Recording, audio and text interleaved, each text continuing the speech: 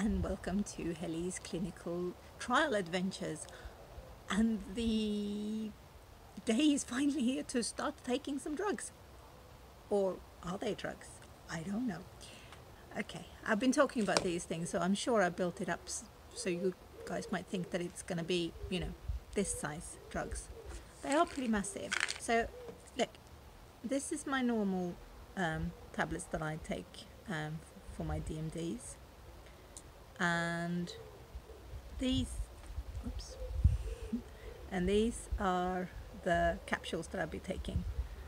Um, be taking seven of these. That's quite a lot. So, is that, I don't know if you can see, but that's seven right there. I did ask the doctor when I saw him if you were supposed to take them all at one go or others. Uh, what I meant was, do I spread it out during the day? And he was going, no, you don't just take them all like this and go, uh, which I'm thankful for. But anyway, so uh, I don't really have anything else to tell you since the last update because I have not been at any books today um, and I was given the drugs last time. Um, so these ones says um, bexarotene or placebo. Oh, we've solved the mystery of what they're actually called. They're bexarotene, not bexarotene. Um, I had a very interesting conversation with uh, one of my colleagues today who was saying that actually when you don't know how to pronounce a drug you're almost at a bit of disadvantage straight away um, it's like say that you would go into a pharmacy and instead of asking for paracetamol you would go paracetamol and they would all uh, tourists and that's sort of what you feel like when you don't even know what the drugs that you are asking for are called um, which are the case with most of the ms drugs because they do have a lot of crazy names um, and they, i think they just try and up each other the drugs companies to try and make them even more complicated um, so not bexarotene as I've called them before, but bexarotene. Um, my colleague and I decided that maybe we'll just call them Bexies. So, so okay, I'm going to try and drop some Bexies. Uh, let's see how it goes. So I got water. Um, but also people can advise me that maybe it would be good to take it with smoothie or milk or something like that. Um, I don't really drink a lot of milk, uh, only in my coffee maybe. So, so I opted for some kind of yogurt milk, um, yogurty milkshakey thing. So okay, let's take my disease modifying drugs first, so I don't forget about it. That was fine. Ooh. That was sweet. Okay, let's try them. So let's sure that it's seven of them.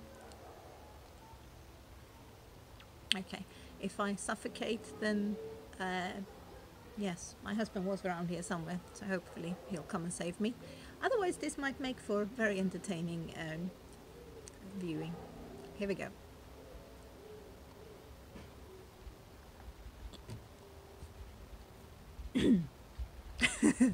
okay, that does feel like it gets stuck a bit. it's gonna get boring watching me do all these sevens. Maybe I'll fast forward it for you. Maybe I should have this instead of dinner. it's quite that gonna be taking up a lot of space.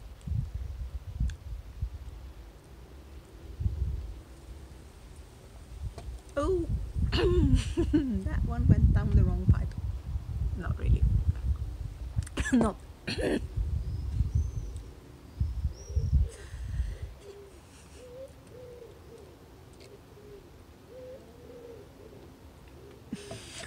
Okay, don't be a baby, Hellie. Come on.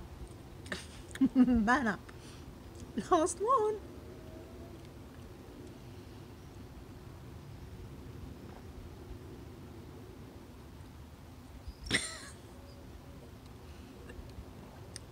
okay. Mm. They're not easy to swallow, but they're smooth, so they kind of do go, go, go down without getting stuck. They're not powdery or anything like that.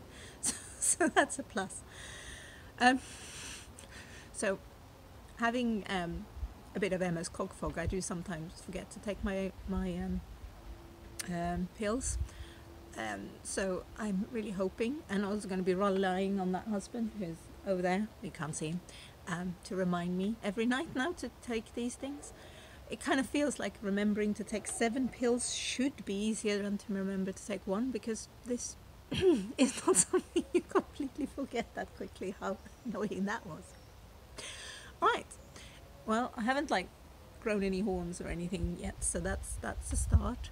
Um, um, what else I need to do? So I need to fill in this diary thing, which will basically just say that I have taken seven tablets. Because um, what I need to do when I go to the next appointment, which will be next Tuesday, so in a week's time, is to bring the remains uh, of the drugs that I have and my diary, and then they will check that I've actually taken them. So if I have forgotten, then I'll have to confess to that. If I've said that I've taken seven and they count them out and they know that she has not gotten her maths right, um, they'll know that as well. Um, so if I start feeling sick or if I start feeling headachy or anything that's sort of out of the norm, I will need to drop a note um, to the nurse and the doctor involved in this. So I guess that's it really. Not terribly exciting, but um, I can tell you that they were not that fun to swallow, but they weren't as horrible as I thought it was going to be.